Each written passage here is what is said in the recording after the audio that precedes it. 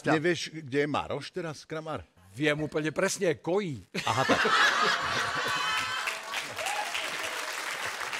tak dúfajme, To je veľká vec. keď kojí, tak dúfajme, že sa ukojí. Vy ste také opice. Maroško, gratulujeme aj za týchto mojich pohankov ti. Samozrejme, že gratulujeme. Jasné, že gratulujeme. A Maroš vie, že podstatnejšie ako to, že je znovu otec, je to, že sa neoženil. Ešte úžasné. Vedel niekto z vás, že Maroš čaká dieťa? Vedel to Maroš? Ja neviem.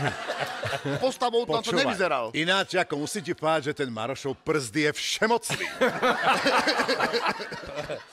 Prestaňte, to si nezaslúži. Takzvaná čarovná húnka. To si nezaslúži. Maroš je, Maroš je stále jeden mrštný tiger a stretávame ho v šatni a Ale vieme dobre, že vedeli, to tak pravda je. je, že Že nepovedal to na tak je.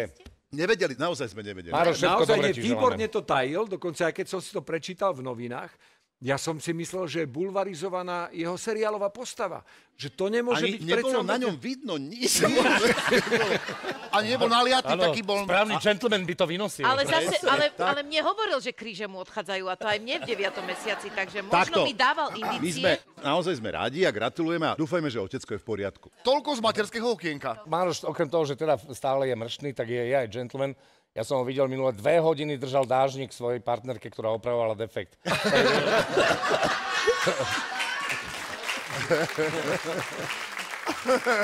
Počkajte, Maroško nám to tak vráti, že budeme utekať. Áno, áno.